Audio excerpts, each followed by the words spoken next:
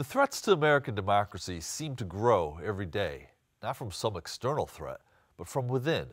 Revelations about the January 6th insurrection, gerrymandered congressional districts, and even restrictions on voting rights proposed or in place across the country. Today's guest helps document those threats to American democracy and offers lessons about how citizens can resist them. He's Marc Morial this week on Story in the Public Square.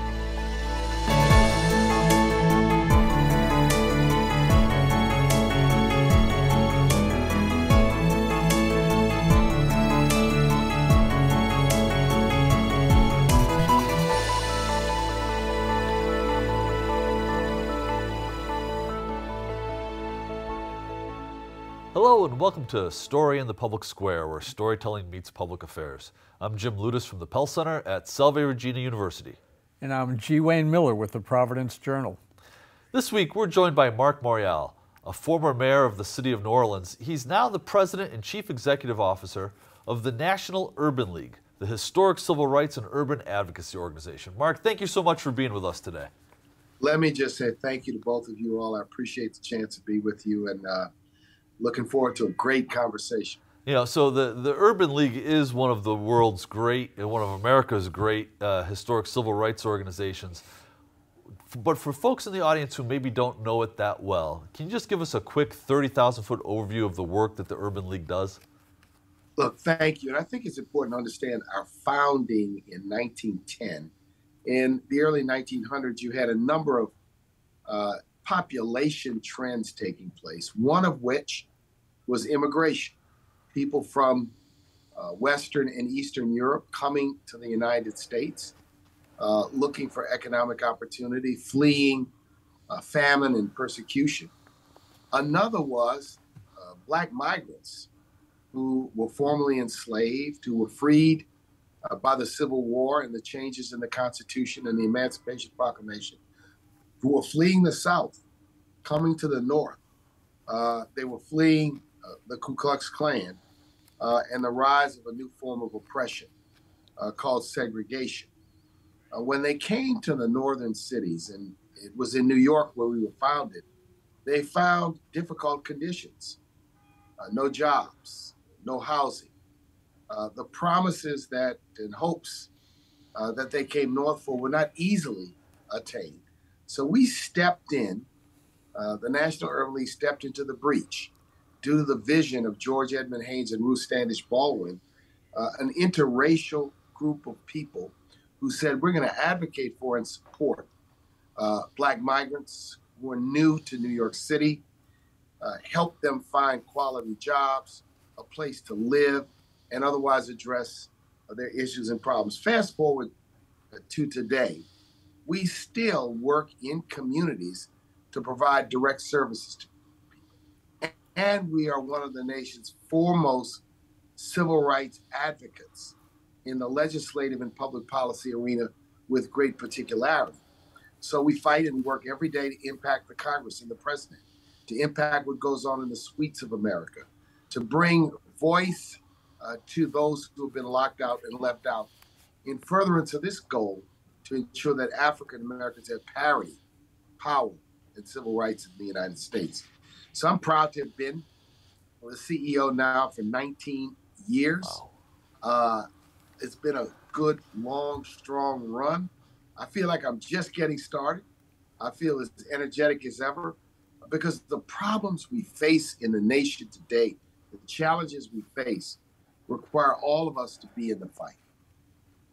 Well, we're going to talk a little bit about some of those challenges and particularly some of the things that you're doing at the Urban League. But I see over your shoulder your political memoir, The Gumbo Coalition, which is really a, a remarkable account of your time in public life uh, as mayor of New Orleans, and in particular, your ability to bring together an inclusive coalition of citizens uh, to solve some of the big challenges that you faced. In a time when so many politicians seem to be running on uh, politics of exclusion. Can you say something about the politics of inclusion?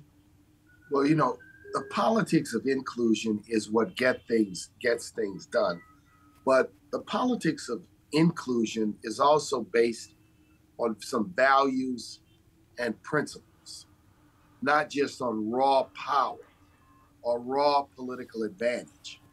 Uh, and during my time in New Orleans, we had great success mobilizing and unifying the community around the fight against violence and crime. We had great uh, uh, success in bringing the community together uh, because New Orleans was in need of an economic transformation uh, in the 1990s. And the approach that worked was really including people in the early conversations about the formulation of public policy uh, and always maintaining an open door process uh, to people who wanted to be heard and wanted to be understood. But then, thirdly, the willingness to make a decision on direction. That after everyone has been heard, this is the direction we need to go. And let me tell you, my fellow citizens, why we're taking that approach. So, the Gumbo Coalition was predicated on this idea that, like Gumbo, a city like New Orleans, many of our cities, indeed the nation, are made up of many different uh, peoples, creeds, colors, religions, orientations, neighborhoods, dispositions, philosophies. And as you add new in, gumbo actually gets better. Yeah. So I like to think of our communities the same way uh, as we bring in people. Uh, I don't see the world through rose colored glasses, but I do believe that fundamentally we have more in common than that which divides us. That fundamentally, people have the same aims. We have difficult, long-standing historic issues, race and poverty, for example, uh, and uh, privilege and advantage that go along with it. So it's not an easy task, but I do believe that I wrote the book in an effort to inspire other leaders, in an effort to inspire a new generation of leaders the same way I was inspired, the same way I learned from others, the same way uh, I fundamentally uh, watched uh, people lead with purpose. And I also saw people lead and fail because they were not inclusive. They did not bring people to the table together. So, Marc, a, a, few months ago, you released your annual report, The State of Black America. And in 2022, the subtitle was Under Siege The Plot to Destroy Democracy. What are you alarmed about? Uh, this is a copy of the executive summary of the report.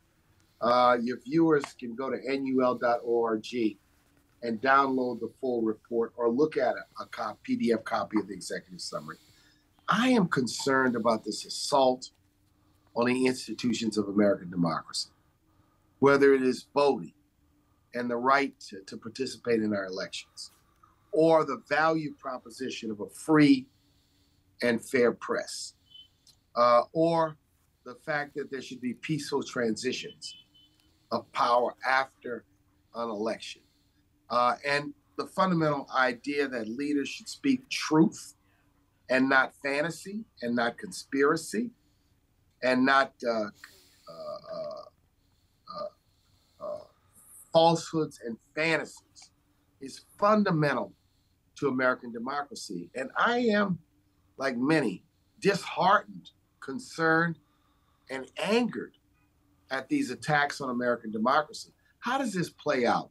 I say to people, there have been 500 plus bills introduced in state legislatures all across the nation in the last 18 or so months that have one aim to make it harder for people to vote and to particularly make it harder for people of color or disabled Americans or older Americans or younger Americans uh, to be able to participate in this precious institution uh, of the franchise in our country.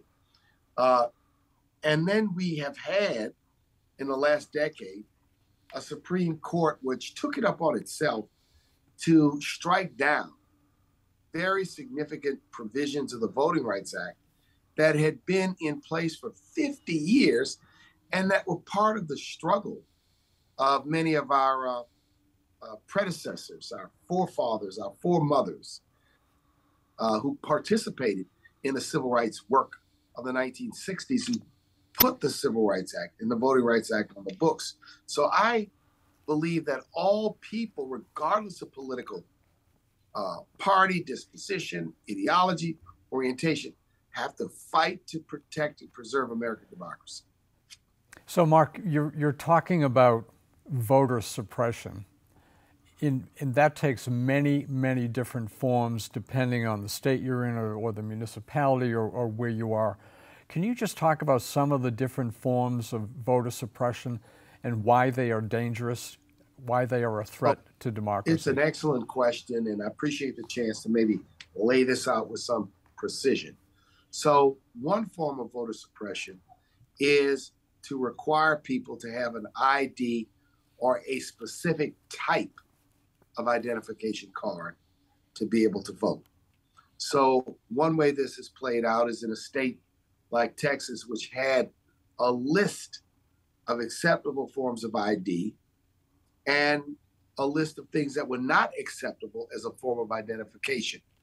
Uh, as it turned out, when Texas first passed stringent voter ID, it said, boy, if you have a conceal and carry permit, that's acceptable as a form of voter ID. However, if you have a student ID card, that is not acceptable as a form of voter ID. The second way suppression is played out in 2020, we had one of the best elections in American history. More people voted than ever before. Uh, notwithstanding a pandemic, elections officials across the country made the ballot box more available by allowing vote by mail, by allowing vote uh, early voting, by uh, permitting and authorizing no excuse absentee voting. Now, many of the same states are stripping those new opportunities to vote away and saying, no, now you've got to go to the precinct on election day, present your ID in order to be able to vote. Uh, the third way is that some states have simply closed down voting places by saying that many states have a minimum number of voters. In other words, they'll say you have to have a polling place for every thousand voters. What these states are doing is going and say, no, you have to have a polling place every 5,000 voters. The impact of that is to maybe take the polling place out of your neighborhood and put it 25 blocks away. Uh, if you don't have a car, if you don't have access to transportation, it's harder to go that distance, particularly if election day is on a day you work. Uh, so these are some examples. Even in Georgia, they passed the Anti Good Samaritan bill uh, which means that if you saw a group of senior citizens standing in line in the sun and they were hot and thirsty, it would be a crime for you to walk up to them and give them a bottle of water while they're standing in line. So some of these are pernicious, mean, spiteful, hateful. We should be making it easier for people to vote. Voting is precious. Voting is foundational. Uh, and to the extent that we are not, uh, we are in a fight to protect American democracy. Hey, Marc, you know, I I look at some of this and I can't help but concluding on my own that this seems to really be intended to target underrepresented populations, BIPOC communities. Um, I think there are a couple of gerrymandering examples in North Carolina and Texas, where more than 90% of the of the state's growth in population comes from yes. people of color. But in those cases, they've actually effectively reduced the representation of people of color uh, in Congress.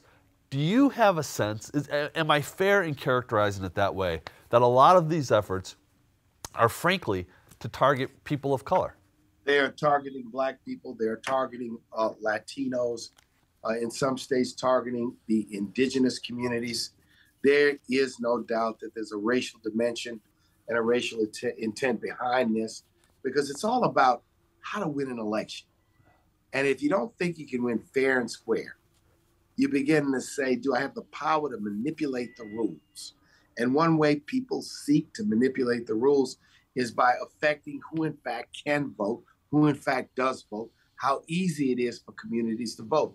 All Americans need to push back against this. Look, there was once a time uh, when the Voting Rights Act's passage and renewal in 68, in, I mean 65, in 72, in 75, in 82, in 2006 was a bipartisan, bipartisan undertaking with uh, Democrats and Republicans. I even recall being at the White House in 2005, uh, 2005 or 6, 6, 2006, when George W. Bush proudly signed an extension of the Voting Rights Act.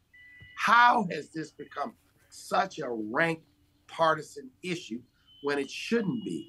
Protecting democracy is fundamental, and the right to vote should not be so constrained with arguments that are specious, such as fraud and lack of integrity, uh, if we are going to continue to maintain our status as the world's greatest democracy.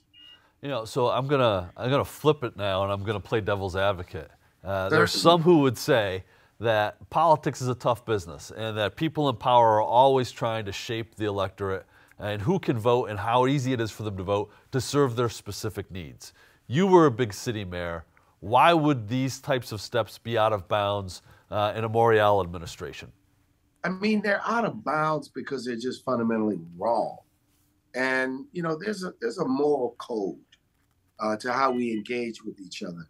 They're fundamentally wrong because they're anti-American.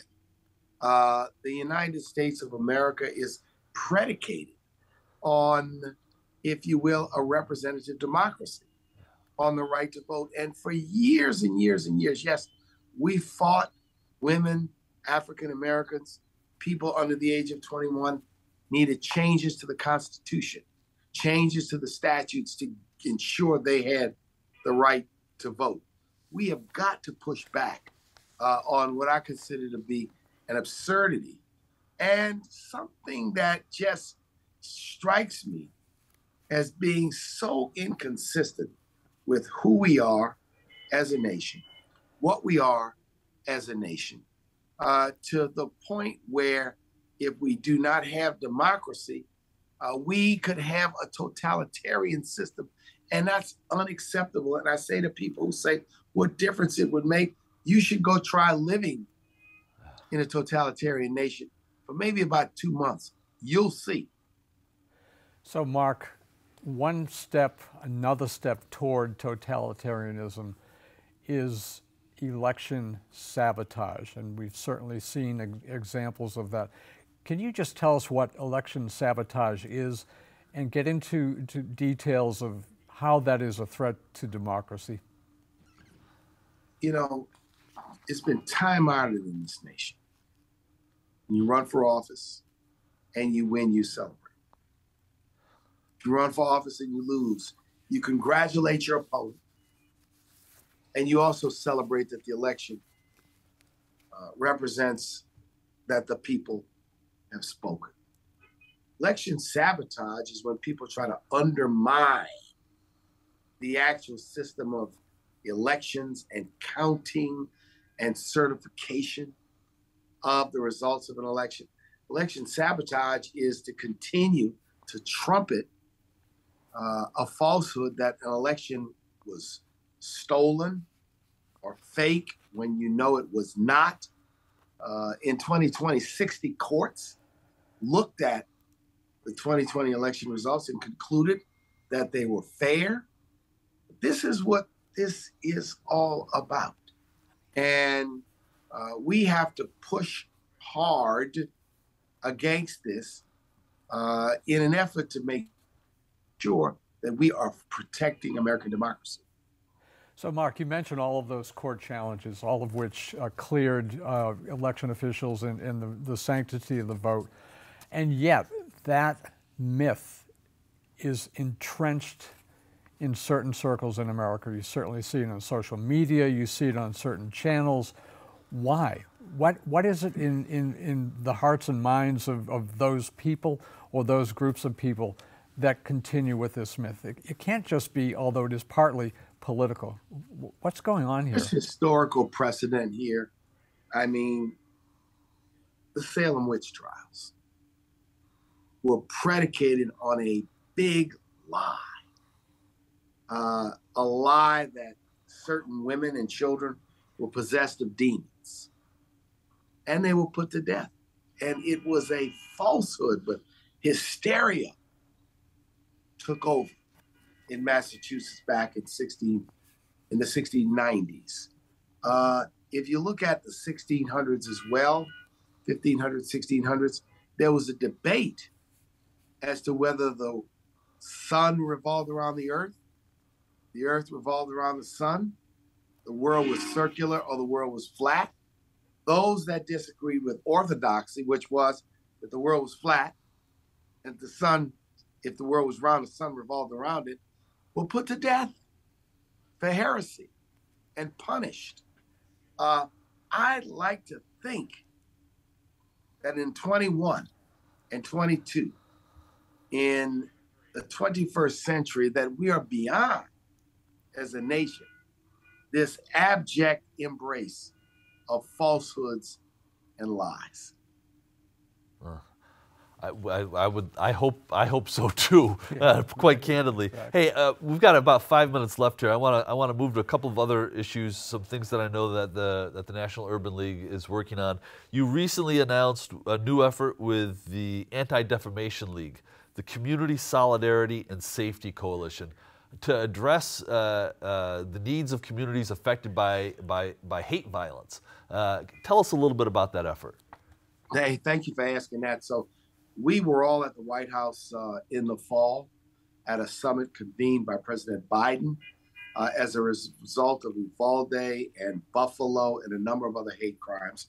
Jonathan Greenblatt, uh, Reverend Al Sharpton, myself, along with John Yang of the Asian Americans Advancing Justice uh, Coalition and Sindy Benavides of the League of United Latin American Citizens, five of us got together and wrote the president and said, You need to host a hate crime summit, which he in fact did. Uh, as a result of those collaborations, we've joined with ADL uh, to do a number of things. Number one, many historically black universities many nonprofit organizations are not equipped to confront the possibility that they would be targeted with hate violence. And we know that churches uh, and schools and synagogues and mosques have been targeted with hate filled violence. So, this is an effort to help uh, nonprofits, to help schools, particularly black colleges and universities, to prepare themselves on how to respond and to protect themselves from this rising pandemic of hate crimes in this country. So you've used the word pandemic, and I'm going to use that to segue into a, another topic here events of the last nearly three years at whatever level have been against the backdrop of the COVID 19 pandemic. And the Urban League has been a leader in efforts to, to help during that. Where, where do you think we are now in, in the fall of 2022 as regards the pandemic and the needs of people, particularly people of color who have been you know, very cruelly uh, punished, along with other people as well, by the pandemic? Uh, we are, I think, in a situation where COVID is not over, but it is easing.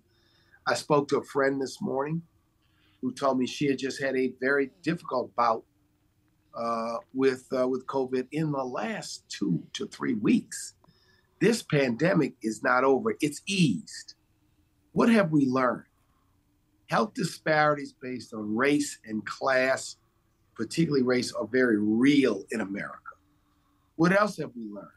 That modern science is quite smart and clever uh, and demonstrated the capability to stand up a number of successful vaccines in less than a year's time. And uh, as a nation, I think thanks to the leadership of the Biden Harris administration, and we partnered with them, uh, millions and millions of Americans got vaccinated, uh, understood the value of it and decided to take a step to protect themselves.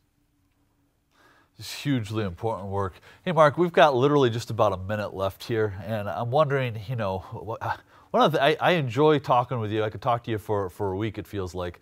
Uh, but one of the things that really inspires me about you and your leadership is that it is so grounded in the benefit and welfare of others. Where did your leadership style come from? You know, I owe so much to my mother and father who were frontline civil rights leaders uh, and uh, history making uh, personalities. My mom makes 90 uh, this year. Wow. Wow. My, Congratulations. My father has not, he's been gone for 30 years, but he was a, an accomplished leader, a first African American mayor of New Orleans, first African American legislator in Louisiana.